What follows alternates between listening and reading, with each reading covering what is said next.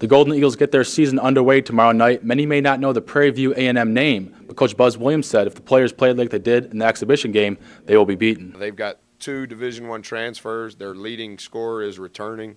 Uh, they've got two junior college transfers. They got two big guys that one looks like Davante and one looks like Jae. They can play. Um,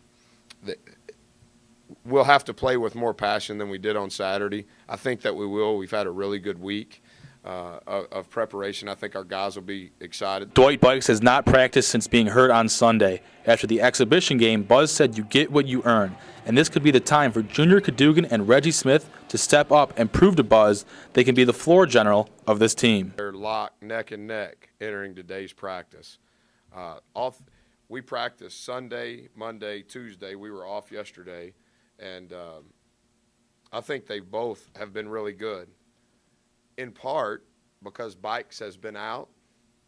So those two guys have gotten every single rep, every single possession.